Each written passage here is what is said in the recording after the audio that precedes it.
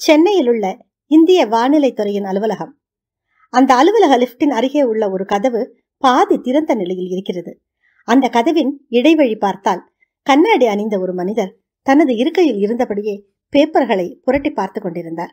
அவரது கை விரல்கள் சுறுசுறுப்பாக இயங்கிக் கொண்டிருந்தன. ஒவ்வொரு வருடமும் பருவமழை காலத்தில் காலை ஆறு ஐம்பது ஆகிவிட்டால் தேர்வு பயத்திலும் வீட்டு பாடங்களை முடிக்காமலும் தவிக்கும் மாணவர்களுக்கு டிவி சேனல்கள் ரமணர் தோன்ற மாட்டாரா? என்ற எதிர்பார்ப்புடன் கூடிய ஆர்வமே மிகுந்திருக்கும். சில நேரங்களில் ஆசிரியர்களுக்கும் கூட அந்த ஆர்வம் தொற்றிக்கொண்டு விடுவதுண்டு. இன்றைக்கு ரமணன் என்ன சொல்ல போகிறாரோ என டேவி பெட்டிகளின் முன்னால் காத்திருந்து ரமணனின் வானிலை அறிக்கையை கேட்பது வழக்கமாக இருந்தது. தனது மென்மையான கவித்துவம் நிறைந்த தமிழில் அன்றைய நாடுக்கான வானிலை அறிக்கையை ரமணன் அறிவிப்பார். இதனைத் தொடர்ந்து ரமணன் ஃபேஸ்புக்கிலும் பிரபலமானார்.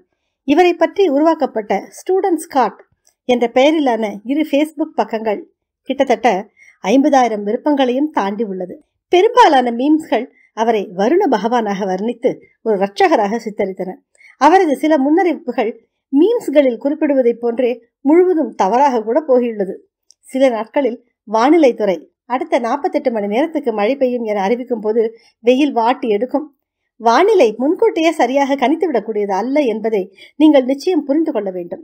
ஆயிரத்தி தொள்ளாயிரத்தி எண்பதில் ரமணன் இந்திய வானிலை ஆய்வு மையத்தில் சேல் வேலைக்கு சேருவதற்கு முன்பு தனது முதுகலை பட்ட அண்ணாமலை படிப்பை கல் பல்கலைக்கழகத்திலும் முனைவர் பட்ட படிப்பை சென்னை பல்கலைக்கழகத்திலும் பெற்றுள்ளார். வளிமண்டல இயற்பியலை பொறுத்தவரை அது உணர்ச்சி வயமானது என்றே அவர் சொல்கிறார். டெல்லியில் உள்ள வட அரைக்கோள் ஆய்வு மையத்திலும் விமான போக்குவரத்து வானியல் துறை அலுவலகத்திலும் வேலை பார்த்து வந்தபோது சென்னையில் உள்ள மண்டல புயல் எச்சரிக்கை மையத்தின் இயக்குநராக பணியாற்ற அவருக்கு அழைப்பு விடுக்கப்பட்டது.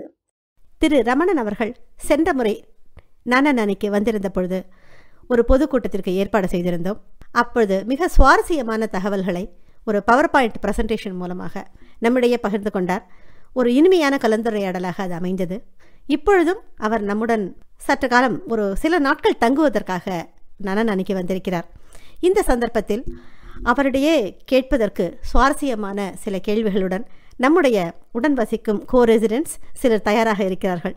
உங்களுக்கும் அவரிடம் கேட்பதற்கு ஏதாவது தகவல்கள் அல்லது கேள்விகள் ஏதாவது சந்தேகங்கள் போன்றவை இருக்குமானால் நீங்கள் உங்கள் கேள்விகளை திரு ராமமூர்த்தி அவர்களுக்கோ அல்லது எனக்கோ நீங்கள் அனுப்பலாம். உங்களுடைய கேள்விகளை உங்கள் சார்பில் அவரிடம் கேட்டு ஒரு சுவாரஸ்யமான உரையாடலை உங்களுக்கு அளிப்பதற்காக காத்து கொண்டிருக்கிறோம் நன்றி வணக்கம். எந்த கேள்வி கேட்டாலுமே எப்படி கரெக்டாக நீங்கள் வந்து ஒரு இம்மிடியட்டாக கலெக்ட் பண்ணி அதாவது மைண்ட்ல என்ன தோன்றதோ அதை சொல்றது தான் வேற ஒன்றும் உங்களுக்கு எத்தனை எத்தனை வருஷமா இதில் எக்ஸ்பீரியன்ஸ் சார் இப்போ அந்த பொறுப்பு டிபார்ட்மெண்ட் பொறுப்பு இந்த சைக்ளோன் வார்னிங்ல ஃபோர்டீன் இயர்ஸ் சைக்ளோன் இதில் மட்டுமே. அதனால தான் உங்களுக்கு சைக்ளோன் கிங் வருண பகவான் புயல்களின் அரசன்.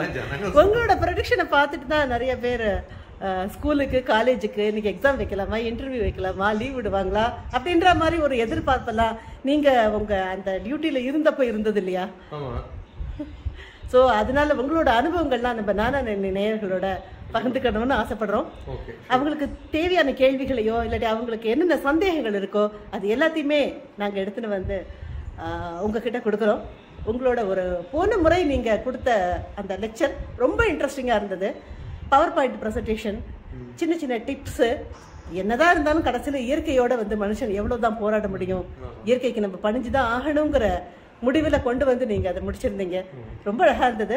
ஸோ இந்த வாட்டியும் உங்கள் நம்ம நேயர்களெல்லாம் உங்களோட இன்டர்வியூக்காகவும் உங்களோட அந்த கலந்துரையாடலுக்காகவும் ரொம்ப ஆர்வமாக எதிர்பார்த்துட்டு இருக்காங்க. நீங்கள் இன்னும் ஒரு வாரம் இங்கே இருப்பீங்க இல்லையா? அதுக்குள்ள நேயர்களோட கேள்விகள் எல்லாம் நம்ம கோ ரெசிடென்ட்ஸோட கேள்விகள் எல்லாம் தொகுத்து எடுத்து உங்களுக்கு எடுத்துட்டு வரேன். நீங்கள் அதுக்கு கொஞ்சம் டைம் கொடுக்கணும்.